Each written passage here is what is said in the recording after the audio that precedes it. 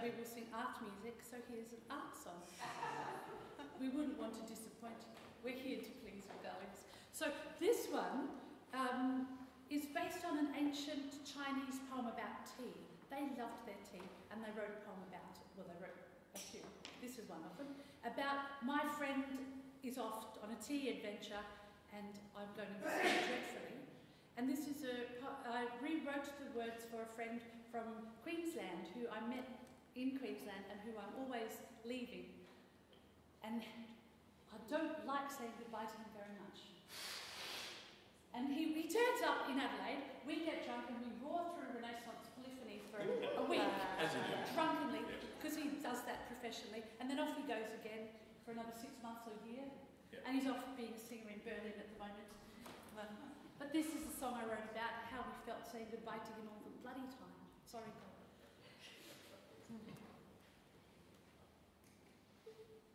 Mm-hmm.